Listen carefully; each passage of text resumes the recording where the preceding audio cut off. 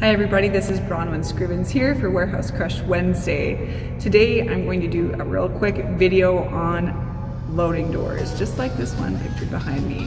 So typically there's two types of loading doors, the dock level door and the grade level door.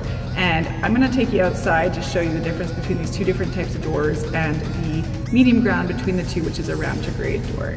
So hold that thought, I'll see you outside. Okay, so this is a grade loading door. And as you can see, it's flush to the ground so that a truck or a forklift or a vehicle can pull straight into the bay. This is important for any type of service user, any type of trucking company, hydrovac, um, anyone, forklifts, anyone that needs to actually drive in and out of the bay. They generally run 12 foot wide, 14 foot tall, or 14 foot wide, 16 foot tall. In some of the bigger buildings, they'll be quite large, 18 or 20 feet uh, for the bigger equipment, but this is a pretty typical grade loading door and size. Okay, now this is a dock level loading door.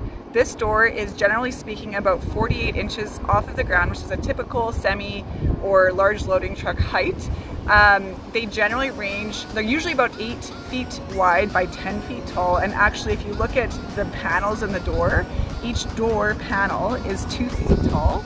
So you can actually count the height of any loading door by just counting the panels. They should be two feet tall.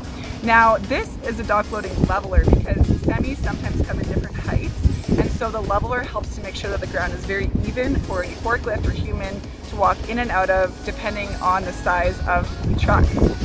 This door over here is also a dockable loading door. As you can see, it's still at the same height as this door, but it's got a ramp that's made it a grade door so that it basically can have a truck that, or a vehicle or, or a forklift that drives straight into the bay.